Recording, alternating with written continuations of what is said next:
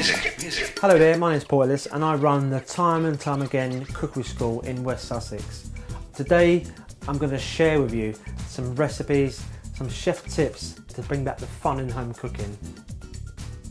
I'm going to show you how to make a pie dough.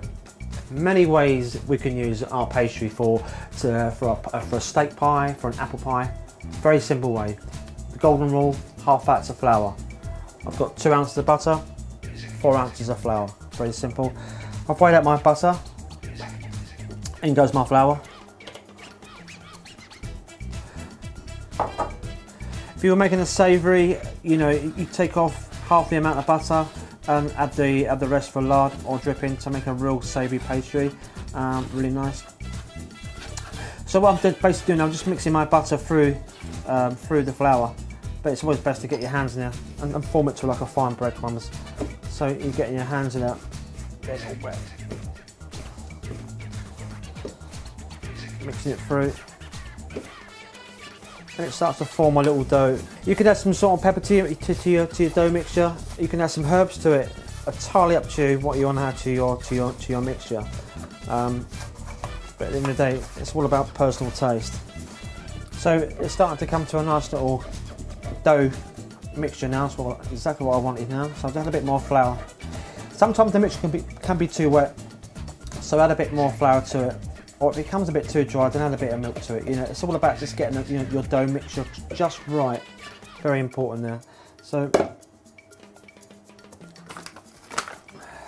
don't worry if it's too dry. Add a bit of you know add a bit of moisture to it. If it's too wet, add a bit more flour to it. It's not the end of the world. So we've got a lovely dough type mixture here. Perfect. And that's ready to roll. I've put that in the fridge for a couple of hours, just a little rest. But I'm going to show you very quickly how to roll it properly. So we have a little rolling board here.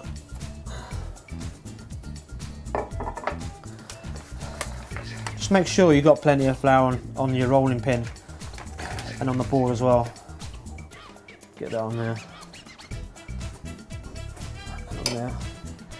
Now this should roll out quite nicely into the shape I need. So this could be my pie, for instance. So I'm rolling my pastry out to the required size. Perfect, absolutely no problem at all there. Looking really good. Very important to keep your rolling pin floured up in between, otherwise it will stick to it. It's nice to sort of move the pastry around as, uh, as often as possible. It stops it sticking.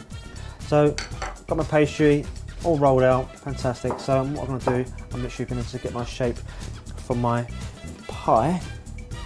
So I've got a little um, pie dish here. I'll just, just show you a little example here. And we'll do on top, right here. And just cut that round. So remember my pastry has been is in the fridge.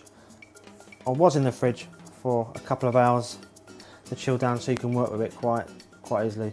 And there we have our pastry top for our pie. And that's how I make my pie dough.